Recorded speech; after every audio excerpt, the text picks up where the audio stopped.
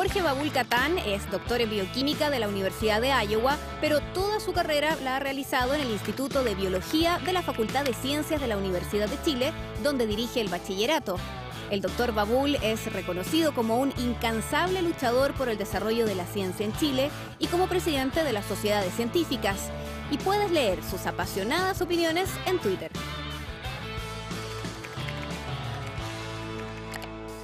Jorge, muchas gracias por aceptar la invitación a venir a conversar a nuestro estudio laboratorio. Eh, bienvenido, muchas gracias. Un, un, encanto estar acá y hablar de las cosas que a uno le gustan, aunque siempre eh, reclamando, pero ya llegará Sí. el momento Vamos a reclamar harto. Eh, en, que, en que estaremos un poquito más conformes. me parece. Oye, Jorge, antes de, de meternos en materia ya más, más profunda, conversemos con un, un poquito de historia de tu vida. ¿Cómo, ¿Cómo te convertiste en bioquímico? Mira, eh, de- desde, desde chiquitito que me, me- me- me interesaron las cosas así un poquito esotéricas como la alquimia, por ejemplo. ¿ah? Eh, y después llegó a mi vida eh, a, a través de un, de- de un amigo de, mi hermano mayor, Titureta. Ellos fueron compañeros en el Liceo Las Tarrias. Ah. Entonces, mi- me, me fui desde jovencito, digamos, estamos hablando del año 55, Ya. 56, o sea, tú ni siquiera habías nacido. No.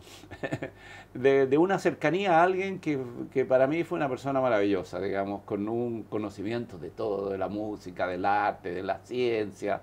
Incluso hacíamos ciclos de cultura. Yo hice un ciclo de todas las sinfonías de Beethoven, por ejemplo, y las escuchábamos, las perfecto. comentábamos. Entonces, eh, me tocó a mí también acompañarlo en su ingreso a la Facultad de Medicina a Titureto. Claro. Entonces fui conociendo así como una especie de hermano mayor, porque mi hermano mayor real no siguió por el lado de la universidad, él quería hacer dinero y encontraba que ir a la universidad era una pérdida de tiempo, en ese tiempo no existía la sociedad del conocimiento, sino que la pillería, y siendo palestino nosotros, él Claro. naturalmente tenía la habilidad de meterse en negocio. Así que él incluso se fue separando de, de, de- de Titurete y yo acercándome a él. Y ¿Cuánto- viví ¿Cuántos años de diferencia tienen ustedes ahí con como cinco años, Ah, seis años más Ya. o menos. Él murió hace dos, Sí. tres años atrás. Sí. Entonces eh, yo lo acompañé en su ingreso a, a la, a la- a la Facultad de Medicina y, y yo no tenía muy claro qué hacer. Mi padre quería que yo ganara dinero. Entonces Ah. finalmente ingresé a Química, ¿ah? a la. Escuela de Química. En, en la Chile en ese tiempo todavía no partía, partió el año siguiente, me metí a la Universidad Católica, a la Facultad de Tecnología, Ah, que tenía la Escuela de Química, Electricidad y Construcción Civil. Era una facultad bien especial que estaba ahí en Lira 40, donde después estuvo el estudio de televisión y ahora hay una cosa del hospital, Sí. un internado. Entonces, eh, yo entré a estudiar química. Y, y era bastante difícil estudiar química y a mi padre le, le- le- le di la chiva, como decíamos en ese tiempo, de que bueno, en química quizás después podíamos tener una fábrica de pintura o algo así. Él quería que yo ganara negocio, dinero. Claro. Pero mi padre, em, él tuvo que salirse del colegio a los 13 años, porque eran nueve hermanos y tenía que alimentarlos a ellos. Lo único que quería era que yo estudiara en la universidad. Ya. No me preguntes por qué, pero se daba cuenta de que, de, de- de que el colegio y la universidad eran parte importante de la vida. Ya. Y mi hermano mayor y mi hermana, que también es un poquito mayor, aunque a ella no le gusta que yo diga eso como mujer, por cierto. Podemos editar ¿no es esa parte cierto? después. Era, era como la siguiente opción. Y ingresé ya feliz. Eh, bueno, y ahí empezó toda una historia. Apenas tuve laboratorio, llegué donde estaba Titureta. Ya. ¿Y qué le pasó a Titureta? En segundo año de la carrera de medicina eh, tenía bioquímica y se encantó con Hermann Niemeyer, Recién nuestro había abierto la maestro. carrera, ¿no? Pero segundo Claro. año de la carrera Claro. de medicina tuvo bioquímica y fue a ver a Niemeyer al laboratorio y no salió nunca, Nunca más hasta que se murió de allí. Sí. No, en serio, nunca ejerció como médico. Y yo apenas hice un laboratorio, que era en primer año, ahí aprendí a pipetear, fui allí y nunca más me fui de allí. Es impresionante eso, entrar a un laboratorio, hacer un experimento y uno... No, pero te digo no. yo que yo rompí uno de los esquemas en la católica, que era increíble. O sea, yo hice mi tesis en la Universidad de Chile. O sea, la Católica, perteneciendo a, a la facultad esta de tecnología. Y fui a hacer mi tesis con Germán Niemeyer, de licenciado, y hice una tesis que correspondía más que una tesis de magíster, de, de, ahora, y qué sé yo. Y eso me hizo publicar en Biochemistry, y, después, bueno, conocí a Jorge Allende en los años 60, y él me ayudó a llegar donde estaba un amigo de él en el Departamento de Bioquímica de la Universidad de Iowa. Y ahí estudié con... Eh, con uh, Earl Stellwagen, que era un discípulo de Chapman, el que inventó todo lo de ultracentrifugación. Y allí me metí, y bueno, ahí me metí a la bioquímica. Ahí hiciste tu doctorado, tú, ¿cierto? En Iowa. Hice mi doctorado en la Universidad de Iowa, después un postdoctorado metiéndome más dentro de la célula, porque todos los otros eran estudios de plegamiento, de proteínas y eso. Me metí más en la microbiología, en las células, estudiar eh, regulación enzimática, con, uh, con Dan Franken en el departamento de microbiología y genética molecular de la Universidad de Harvard, en la Escuela de Medicina, eso en los años 75, 76. justo cuando estaba empezando la revolución de la biología molecular, que fue el 73, Claro, pero yo, pero yo viví el, código genético con Jorge Allende, pues, porque él fue en parte con, con Nirenberg, estudió, o sea, no estudió, trabajó con él en NIH y todo, yo lo visité incluso cuando, me, cuando llegué por primera vez a Estados Unidos, llegué a la casa de Tito Ureta que estaba en el Rockefeller. Y estuve unos días con él y me fui a Lena Yates a la casa de Jorge Allende. Y, en la misma pieza del hijo de él, de Miguel, que, tenía tres años. Imagínate, o sea, conozco a, esta gente, parece que he vivido mucho tiempo, no quiero ah. decir que soy viejo, pero... Entonces así me, me, fue agarrando la, pasión ahí y siempre seguí la mano un poco de, eh, como aficionado nomás de la alquimia, como, como una manera de a través de reacciones químicas cambiarse uno, digamos, una cosa un poquito más más filosófica y siempre me ha, me ha, tentado. Oye, ¿y, te especializaste particularmente en el estudio de qué cosa? Lo que sucede es que allí con Niemeyer, siempre eh, estar al lado de Niemeyer era pensar cosas y, tener proyectos. Y, y, me embarqué en la idea del nacimiento del primer programa de doctorado en bioquímica. Entonces empezamos a decir, a ver, eh, ¿qué es lo que es fundamental para un doctorado en bioquímica? Pensábamos regulación metabólica, enzimas, biología molecular, métodos. Él siempre, desde, desde chiquitito, me metió en métodos. ¿ah? Cuando yo empecé por allá por el año 62, 63, estaban haciendo lo, lo, que en ese entonces se llamaba filtración en geles y ahora se llama exclusión molecular. ¿ah? Y porque acuérdate que en ese entonces si uno quería determinar el peso molecular de una proteína, tenía que saber el coeficiente de difusión y determinar el de sedimentación en una ultracentrífuga o usar la ecuación de Svedberg. Era un trabajo inmenso y tener una maquinita de, de, miles de dólares. Entonces aparece esto de la filtración en geles y yo tuve que dar seminario, armar columnas ahí en el Instituto de Química Fisiológica y Patológica de, la Facultad de Medicina, donde, donde, estaban los, los, grandes de la bioquímica, en ese entonces era el profesor Julio Cabello, el, el, director, pero antes había sido Cruzco, que, que fue de los fundadores de la bioquímica. Claro, y también político, te fijas tú, una persona muy influyente, así que yo me, me, me crié entre grandes, digamos.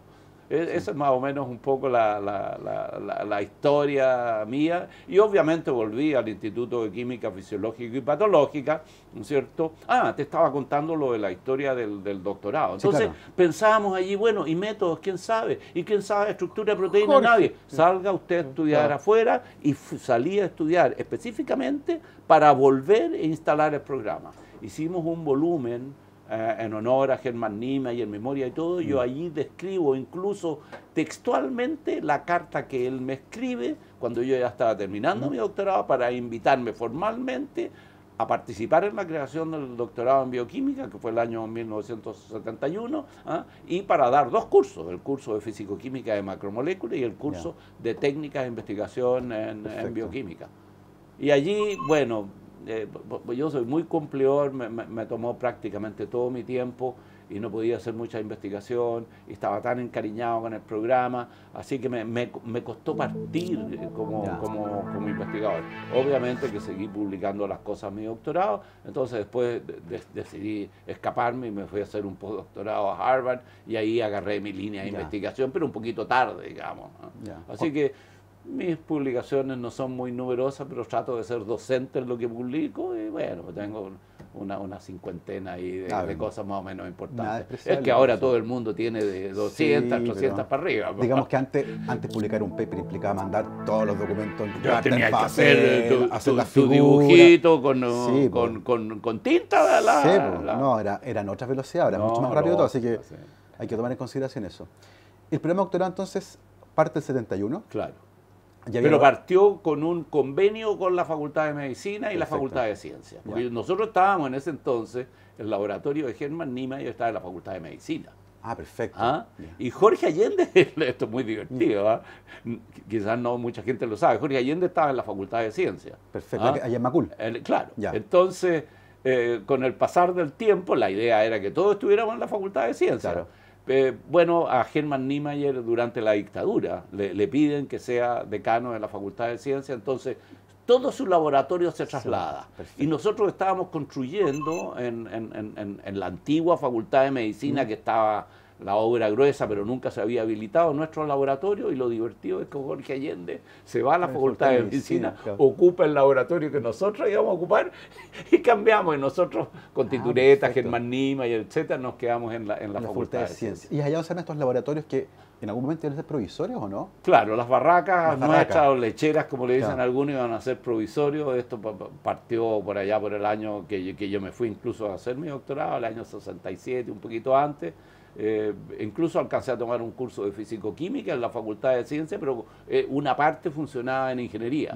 Y otra parte de los biólogos como Pancho Sepúlveda, por ejemplo, con Jubilevich, estaban en, en la, en la Facultad de, de Medicina, pero en un laboratorio que afuera decía Facultad de Ciencias. Eso es parte de la historia, que no, Sí. es, muy, no, es, no es muy, no es Muy muy, conocida. muy conocida, sí. Y esos laboratorios provisorios fueron provisorios. Allí siguen, de- pero todavía quedan un par y nosotros estamos en unos de ellos y tenemos, tenemos más espacio, claro, no es, no es muy elegante que digamos. pero funcionan bien. Y se hace ciencia. Funcionamos, sí, ahí el, el laboratorio de bioquímica y biología molecular, que es lo que quedó, digamos, de- de- de- del laboratorio de Germán Nima, y que en algún momento fuimos más de, de 15 personas estables, digamos, y ahora somos mm, dos y medio, digamos. Yo tengo parte de mi tiempo, por algo que quizás vamos a conversar, llevo 22 años de director del programa académico de bachillerato en la Universidad Claro. de Chile Sí. que, que es otra de mis pasiones. Sí, Así que si hay eso. espacio, Sí, conversamos por de eso supuesto. también. Oiga, profe, ¿cómo viven ustedes como académicos y como investigadores el, el golpe de Estado? Porque los pilló a ustedes ahí eh, Nos pilló tratando en, de investigar. en la Facultad de Medicina, incluso eh, eh, era, era bastante, bastante triste, porque de repente íbamos cruzando el río Mapocho, porque esto queda en la calle Borgoño, que inmediatamente después de, de cruzar el río por donde está eh, la estación Mapocho. Si tú cruzabas el río y ibas a la izquierda, ahí te encontrabas con el Instituto de Química Fisiológica y Biotología y también estaba eh, microbiología, que fue hecho a imagen del Instituto Pasteur, pero más, más, Más- más, más más pequeñito. pequeñito. Una construcción sólida, los años cerca de 50 o algo así, eh, que es una historia triste porque después se demolió, Mm. fue un lugar de detención. Ah, incluso hago el paréntesis, eh, cuando uno leía las entrevistas a, a detenidos de aquella época y contaban cosas, como por ejemplo subía una escala, el, el peldaño número 17 crujía y me bajaban al subterráneo y yo sabía exactamente por dónde estaban y Titureta mejor que yo porque nacimos ahí. ¿ah? Entonces, eh, eh, nosotros lo, lo- lo vimos bas- bastante mal en ese sentido porque no, no, no podíamos llegar donde, donde, donde trabajábamos. Mm. Y después, en la etapa posterior, cuando Germán Niemeyer fue decano, bueno, hicimos varias cosas. Eh, Romilio Espejo lo tuvieron detenido en el Estadio Nacional y nosotros, eh, él como presidente del comité del doctorado en bioquímica y yo como secretario, le escribimos una carta a los militares en favor de él, etcétera. Fue ba- bastante, Complicado. bastante duro, eh, complicado. Después Romilio Espejo eh, nos contaba que hacían seminarios y cosas ahí en el lugar de Ah, ¿sí? detención para, para poder mantenerse, pasar aquí- el- pa- pa- pa- pa- para, que no los destruyera el, el- el hecho de estar Estar ahí detenido. encerrados y en el estadio y todo, fue, fue mu- mu- mu- muy, muy, muy, muy triste.